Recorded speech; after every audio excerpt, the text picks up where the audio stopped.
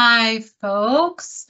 Um, welcome to our virtual public meeting talking about visitor use and experience for Grand Teton National Park. My name is Rachel Collins. I'm going to be um, our moderator tonight um, and this afternoon going through um, our presentation here. Wanted to just really thank everyone for carving out the time to uh, be with us going to run us through a couple logistics before we get into the meat of our presentation. Uh, we are in Teams Live today um, for this meeting. So a couple of features if you haven't joined us for a Teams Live event before.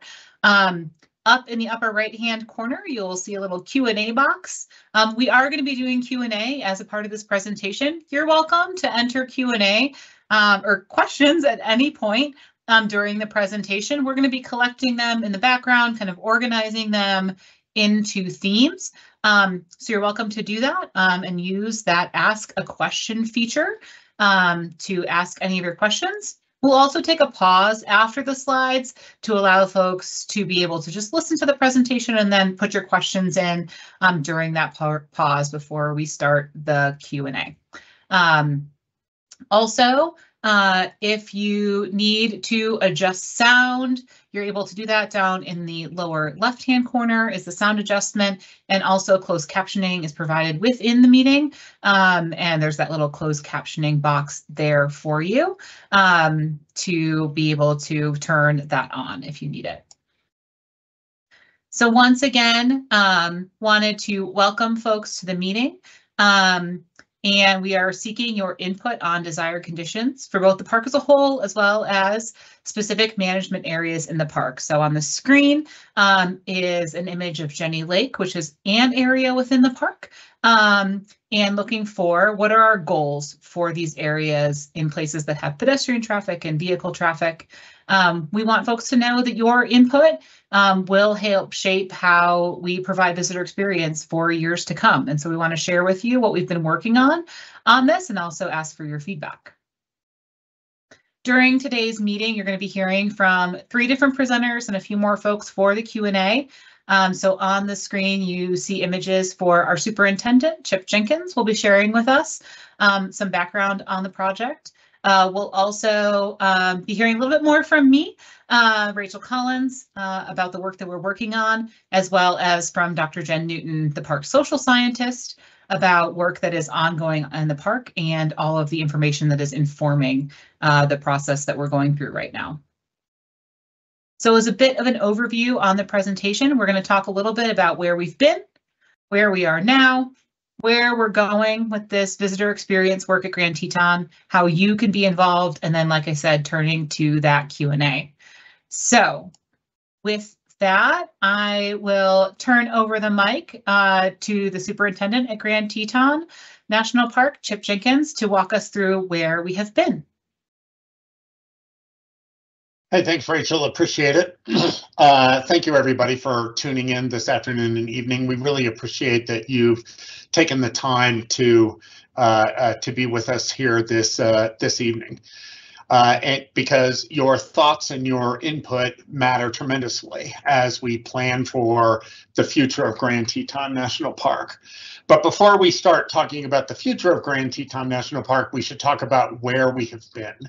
And I have frequently gotten the question of uh, when is the National Park Service going to start doing more active management of uh, the visitor experience here at Grand Teton? And the reality is the National Park Service has been doing visitor use management at Grand Teton for a very long time. In fact, it's been going on for almost 100 years. It's a story older than the park itself.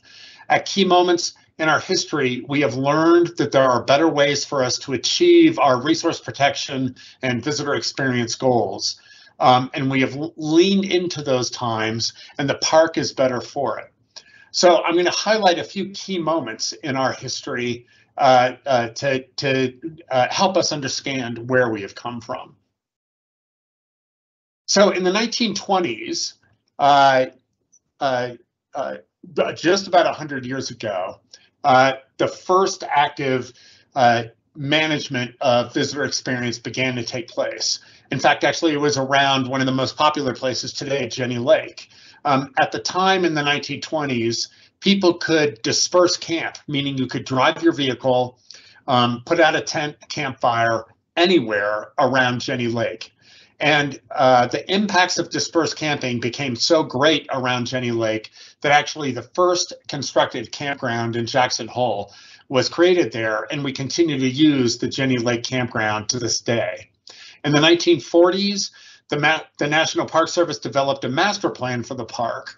One of the principal things of that master plan, it called for two roads. One, an outer highway for high speed travel that would enable people to go to and from the community of Jackson, uh, Dubois, uh, and, uh, and other place uh, rapidly. Uh, while at the same time there was an inner park road for a slower, more contemplative park experience. In the 1950s and the 1960s, there was a massive federal investment in this area where there were millions of dollars that were spent to support visitation and spur economic development. That federal investment included building hotels at Jackson Lake Lodge, building hotels in Colter Bay, building the campgrounds at Colter Bay, Lizard Creek, Signal Mountain, and Gros Ventre, uh, creating the marina at Colter Bay, Leeks, and Signal, and over 150 miles of trail, including uh, the trail that in 1970 was built up Granite Canyon to connect with the new tram that had just been uh, constructed at Jackson Hole Mountain Resort. As we moved on uh, into the uh, uh, in the 1970s, the park completed a master plan one of the key factor factors of that master plan were were two things. You'll hear a bit more about it later in terms of zoning the park for different kinds of visitor experience, but also a decision to cap the number of overnight accommodations, cap the number of hotel rooms and campsites that were in the in the park. In the 1980s, backcountry use had grown so much that a management plan was needed uh, that help us uh, figure out how we could continue to provide high quality backcountry experience while also preserving uh, the natural resources and a high quality experience. And out of that master plan came the concept that we continue today where there are designated camping areas and we manage the camping areas there through a permit system in the 2000s and 2010s, in response to increasing visitation, uh, the uh, dilapidated visitor center in Moose was replaced by the Craig Thomas Discovery Visitor Center. Uh, the Laurance S. Rockefeller Reserve was donated to the park, along with the associated trails and visitor center, uh, and a, a, very significant rehabilitation of the Jenny Lake area uh, was completed. There was a uh, transportation plan that led to building the multi-use pathway in the pathway system in the park that connected with the pathways in the surrounding communities. And in response to uh, uh, increased visitation at Jenny Lake and people uh, um, with the growing uh, bear population, the grizzly bear population, the park started the Wildlife Brigade and the String Lakers, uh, comprised of volunteers to actively manage uh, uh, visitation. So we are making really, really intentional choices about how to manage for a quality experience. Uh, the National Park Service here at Grand Teton National Park has a long track record, in fact, 95 years, of actively managing visitation, making hard choices, and adaptively, uh, adaptively adjusting to changing condition. And this sets us up for where we are today and how we need your help to figure out where we need to go. And so to uh, learn more about where we are today, let me introduce Grand Teton National Park's Dr. Jennifer Newton, the park social scientist. Thanks. Great. Thank you, Chip. Uh, I really appreciate that. And also just want to echo Chip's appreciation for everyone who's joining us today and sharing their evening and afternoon with us. Um, and so I'm going to talk a little bit about where we are um, and what that means. And so essentially, the park, we've been using social science and the best available information that we have to better understand visitor use and visitor experience in the park. And so we've worked with contractors and university partners on several different studies, some of them site specific and some of them at a park wide scale to give us a better understanding um, of visitor use and visitor experience within the park. These studies have focused on transportation and visitor movement, visitor motivations, perceptions and quality of visitors' visit to the park, as well as information like visitor activities, perceptions of resource impacts, demographics, and the influence that visitors have on other visitors. Next, I'm going to share some key insights from these studies. The first insight um, is about changing visitation. And so overall, visitation is increasing to Grand Teton National Park. Additionally, with that increase in visitation, we're also seeing a mismatch between our operational capacity in the park and that visitation demand. So I'm going to share a few slides here that highlights that um, information. And so on this next slide, what we have is a graph that shows our yearly recreation visits, and that's the blue line that has those circle dots. That's our overall recreation visits to the park. And as you can see, it's ebbed and flowed. But for the past 15 years, that recreational trend has increased. That trend is shown here on the black dotted line. And so for the last 15 years, there's been a 32% increase in recreation visits to Grand Teton National Park. Additionally on this slide, what is shown is that orange line with the square dots is our overnight stays. And as you can see, that stays relatively constant. And so to Chip's point that he just made about us having a set um, capacity for those overnight visits, we're seeing that in these graphs and what that shows in general, we have about 17% of our visitors stay overnight somewhere in the park. And so you can see that here last year in 2023, we were right on average with that 17% of visitors staying somewhere within the park, and the rest are day use. And so that 83% of visitors are coming from elsewhere and coming into the park each day. Additionally, I wanted to highlight 2019 and 2023 in particular.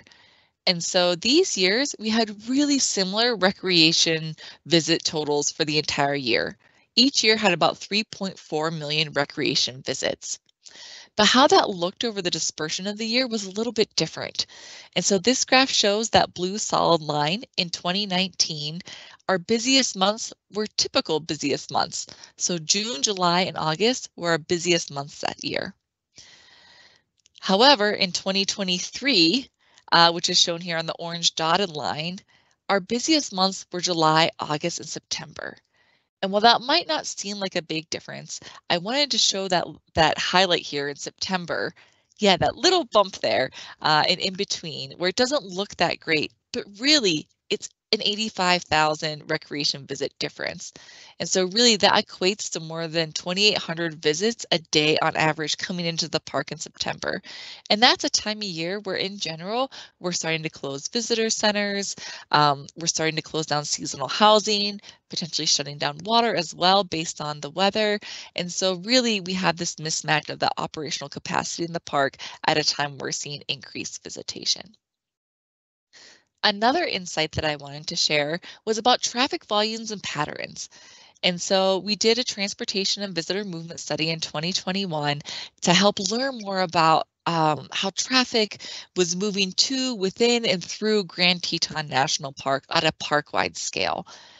And what we found is that visitors are coming from many different locations, and they're not necessarily going directly from point A to point B. And so they're not coming in through our entrance stations and going directly to, to a site that they're headed to. They're making these multiple stops. And so really we're seeing this auto touring style of visitation where folks are stopping at our pullouts, maybe our park entry sign, maybe a trailhead, maybe a visitor center. And they're stopping at these areas kind of randomly whenever you look at it holistically. They're stopping at different locations and there's not one singular pattern that really pops out um, whenever we look at these data. We also found that transportation and visitor movement study that overall, there's not a big traffic congestion issue within the park. Most of our roadways and our intersections, they function really, really well. However, we do have some hot spots where we do have congestion, and we see that mainly in parking lots within the park. Another insight really highlights recreational experience and quality. And so as visitation to the park increases, we're seeing an increased density of visitors, particularly along high use trail systems and lake shores within the park. We also know whenever we ask folks about their motivations and why they come here, scenic beauty and natural quiet are key features that kind of influence their decision to come to Grand Teton National Park and really help contribute to their experience in a meaningful way. And so having that opportunity to spend time with family and friends, to relax and escape are often motivations of why folks come here. Additionally, with that higher use, we also get visitors that report some type of crowding, mainly at key high density uh, destinations within the park. For example, Jenny Lake or String Lake. Um, only a few visitors report that crowding is an extreme problem within the park, but many visitors do report a slight to moderate issue within the park. And we see that in many different data sets. And so one that I want to share today is a word cloud. Um, when we ask visitors on a park-wide scale, what do you like most about your visit? And what we see is those similar motivations um, and key parts of the experience where we see words like scenery, wildlife, hiking, beauty, views all come out about what visitors like most. I think one of my, there's a few different quotes because folks answered this in an open-ended fashion. And one of them is, scenery and scenic overlooks saw more wildlife than we thought we would. Jackson Lake, it's the most beautiful place. So we were getting these really robust, wonderful responses from visitors um, that really highlight that want to view scenery uh, and enjoy this space. We also asked folks what they liked least. And what we find whenever we ask an open-ended are things like parking, crowds, crowded, Jenny Lake. And so similarly to like I mentioned with the transportation and visitor movement study, it's interesting that we find here that parking comes out as an issue in both that congestion and transportation and visitor use, but also on what visitors are saying they're experiencing and like least within the park. Also, some of those quotes also said very specific locations. So for example, someone was quoted saying, parking was hard to find at String Lake and Jenny Lake Overlook. Another person mentioned a couple of areas of high traffic and parking. And so it's really interesting as well for us to see these very different data sets and a similar theme coming out that parking at specific locations tends to be an issue for folks within the park. The last insight that, that I wanted to share was visitors' perceptions of resource impacts. And so we do ask visitors um, in surveys if they've noticed anything or how big of an issue things like resource impacts are. And what we find is right? Once again, visitors have that top motivation for viewing scenery and wildlife within the park, um, and they're noticing whenever visitors park on road shoulders and these roadside impacts the scenery. They're also noticing things like user created trails and sites. And so when we survey folks and ask them about an issue or how big of an issue that is, they do report noticing those impacts to the scenery and those impacts to resources on user created trails and sites. We also hear about a loss of natural quiet, in particular that is related back to Bluetooth speakers in particular.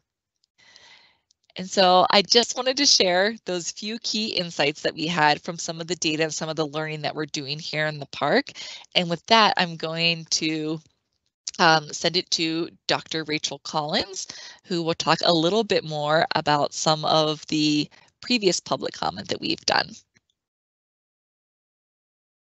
Great, thanks, Jen. Uh, I did want to bring up um, the other input that is going into the work that we are going to share with you as far as where we are going uh, that contributes to where are we now. In addition to all the great science going on in the park and surveys and research that we've been doing, we've also been soliciting public comment. Um, so some of you probably participated in this with us last summer. Our focus area for last summer was how was your visit?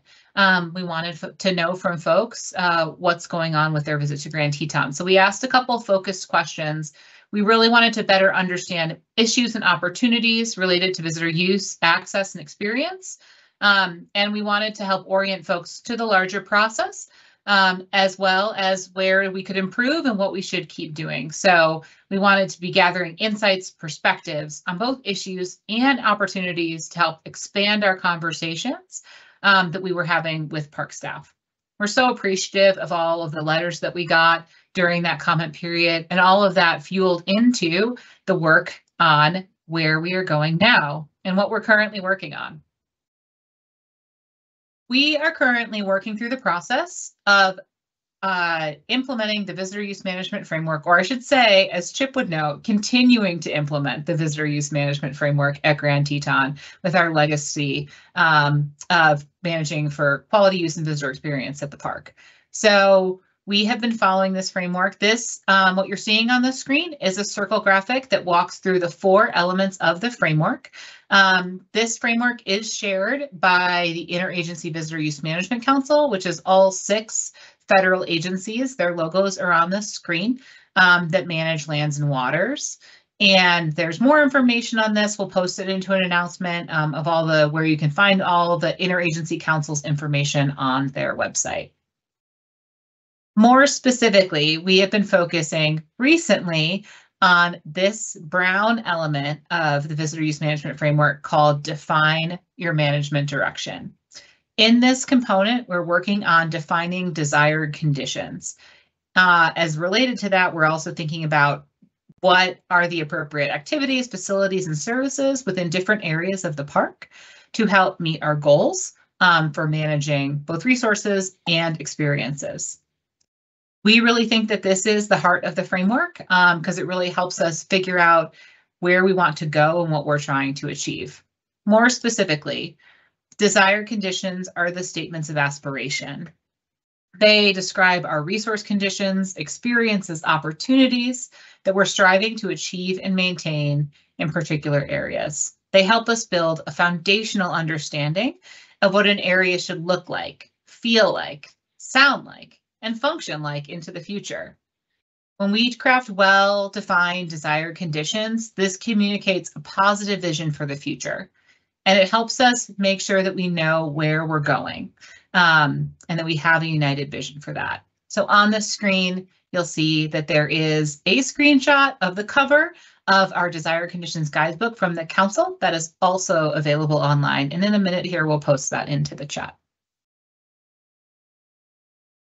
More specifically, I wanted to dive into some details because we're going to talk a bit more about what these desired conditions are. Desired conditions help us answer the question, what are we managing for? They help us describe the outcomes. They're not how we achieve that outcome, but they are the what we're managing for. Uh, they're typically written in the present tense because uh, they're things we're looking to achieve and maintain, but they help us look into the future. They also help us reflect shared values, which is part of the reason we wanted to share this with y'all uh, during this comment period. We want to make sure that people see themselves in these desired conditions and that through this process, we're cultivating a shared understanding of what is being managed for in the different areas of the park. They're also aspirational. These are goals. We're not going to always achieve them all the time everywhere, um, but they are the things that we are trying to achieve and we're continually working towards. Uh, so we want them to be aspirational and we also want them to be specific, connected to Grand Teton specifically, not all national parks, but what are we managing for at Grand Teton? We started this process by working on park-wide desired conditions. There's more information on the park-wide desired conditions on the story map, which you can find on the project home site. I also, though, wanted to make this really local um, and share one specific park-wide desired condition or a chunk of one because uh, it leads into the conversation that we're going to have next. Um, we pulled this one because it illustrates a really key point. Across the park, we want to be providing for a range of visitor opportunities where visitors who can find a wide spectrum of different opportunities that are social or solitude based, but all allow them to connect with nature and define those experiences across the landscape. So while we have some park-wide goals, we also have some area-specific goals because we know that in a park as big as Grand Teton, we can't be all things to all people everywhere and definitely not all of the time. So then we, what we have also done is break up the park into different management areas.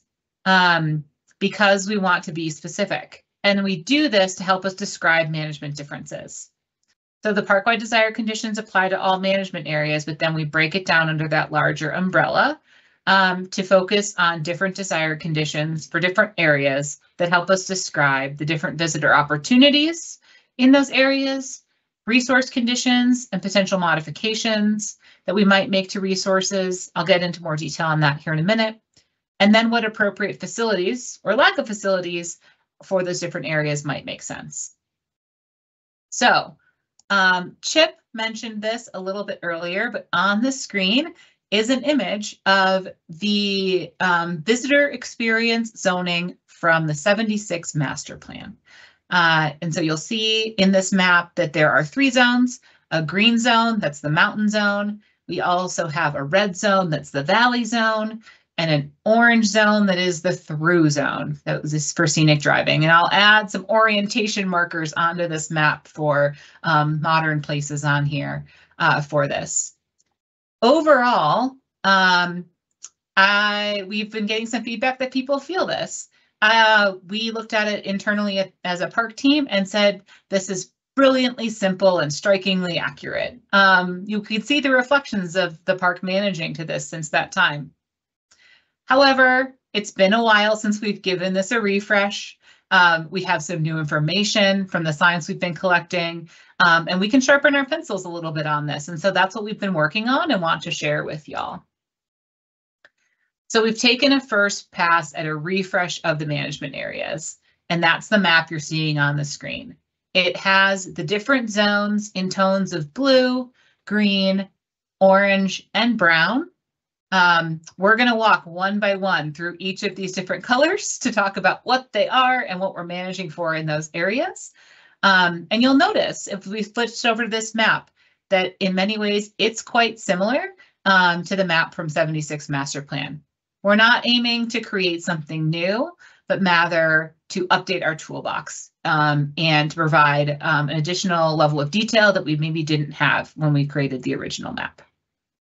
So I'm going to start walking us through all of these and start breaking this map down. Did want to also let folks know we do have a story map that has more descriptions and people can spend time with that map online. And again, as we get closer to the Q&A, we'll go ahead and post that link into the chat so folks can focus and then go ahead and open the link. The link is also on the project homepage. Okay, so let's start with Road 1. Road 1 is shown here on the map in an area that is outlined in red. These are the road corridor corridors um, that are along Highway 26.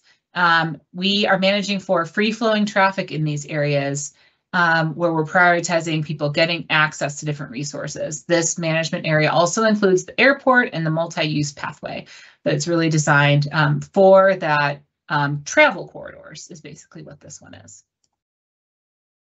Road 2 is shown here in brown.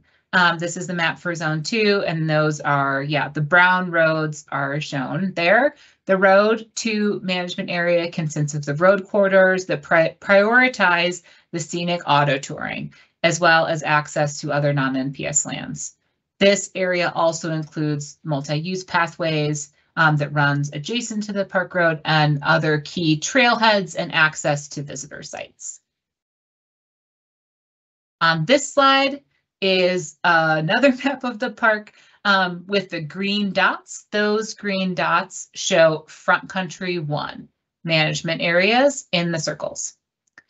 The lands in this area are really meant here to serve a range of visitor, visitor needs um, as far as getting information, getting oriented to accommodations, food, supplies as you're kind of transitioning in those.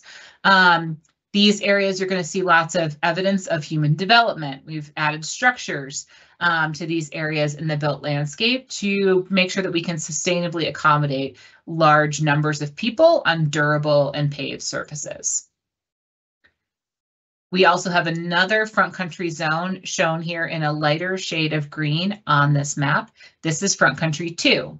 This management area emphasizes visitor recreation and a transition away from those front country one areas. These visitors experience a transition from developed and densely visited areas to more rustic, more wild feeling, and more contemplative settings. These air, this area appears less developed, more minimally developed, with most of the development in these areas related to trails and boat launches and that kind of recreation infrastructure. Next, we'll transition over into the backcountry areas. These will all be in blues. On this slide is a map that shows backcountry one. Um, that is in the dark blue.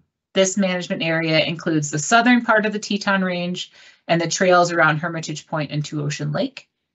The these are developed trail corridors. They also include popular climbing and mountaineering routes in this management areas. They're meant to introduce visitors to the backcountry of the park with more contemplative settings and connection for nature, while also providing a potential for solitude um, for as visitors travel deeper into these areas. Backcountry 2 takes us up north to the north end of that mountainous range. Uh, that is in the um, teal blue uh, that's there. This includes areas like Berry, Owl, and Webb Canyons. This management area is managed to provide opportunities to connect with nature, frequent solitude, more of an escape from modern society. So this area appears mostly undeveloped with only primitive trails present in these sections of the park. Next, we have Backcountry 3. On this slide is a map for Backcountry 3, which is colored in the light blue.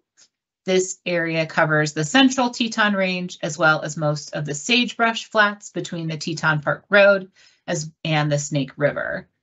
Lands in this area emphasize resource protection and visitor access is not facilitated by additional infrastructure and may require substantial effort uh, for visitors to get into these areas. Um, but when you get into these areas, you find very few or no other people, prime opportunities for solitude, no developed infrastructure in these areas. And this is my last one, I promise, uh, is Backcountry 4. Uh, Backcountry 4 on the map on your screen is shown in purple. Um, this area covers most of the parklands on the eastern side, eastern side of Highway 89 and 191 this management area reflects the unique history that led to the eventual inclusion of parts of the valley within the park. So this area emphasizes resource protection, appears minimally developed with some moder moderate managerial presence um, on sporadic and primitive roads, including buildings and irrigation ditches, fencing. Uh, those who do visit this area find a really unique setting here with some opportunities for solitude, but you may hear traffic and see other visitors at a distance, um, which makes it a little bit different and why we called it out differently from the backcountry three or backcountry four areas. So happy um, happy to answer any questions on those that folks might want to put into the Q&A. We can go back to any of these slides. Um, but before we jump to the Q&A, I do want to invite Chip back um, to give us a little bit of an orientation on how you can help um, with this process and what your role looks like as we go forward. Great. Hey, uh, Jen, Rachel, thank you so much for uh, the presentation here and the in the information. And as we said at the top of the top of this, and again, uh, you are uh, critical parts of this process. All of you who have uh, tuned in this evening, people who may be uh, watching a recording, those who are reading this online. So um, if you could go to the next slide. Grand Teton National Park needs your help. Uh, your feedback is absolutely critical. And so uh, we are taking your comments through August 12th. Uh, the way to submit them is on our uh, this website. And one of the best things that you can do is go to the story map, the link of which is on this website. Uh, to be able to get uh, additional uh, information, both that you can help digest and that you might be able to share with uh, friends, uh, colleagues, and, and other folks. and a key part of what we're doing is asking you to consider some key questions. the, the, it's really while you may be having many thoughts about what it is that you, uh, you're providing, it would be really, really helpful if you would be focusing on what are the park-wide desired conditions, um, how they resonate with you, uh, uh, uh, what types of park experiences and opportunities uh, uh, do you uh, uh, do you want to have experience here? How do the desired conditions for each of the management area align with your experiences? And most importantly, what you might be expecting of the future? And then, um, do you have any other comments or uh, uh, ideas about these desired conditions? Overall, the main question for you is what should the National Park Service be managing for in these different areas of Grand Teton National Park? The idea is that we're not going to have one experience in Grand Teton. We're going to have many experiences in many different locations and helping us identify uh, uh, what those are is the central part of what we're doing right now. So how do you submit a comment? Uh, you can go to the uh, park planning uh, uh, webpage. Uh, here is the address on here. I know in the federal government, it's not always the easiest address to use, uh, but you can go to the Grand Teton Park Planning page and click on the comment now. And that that is where we need you and uh, others that care about Grand Teton to give us your thoughts about what we should manage for for the future. So uh, thank you very much.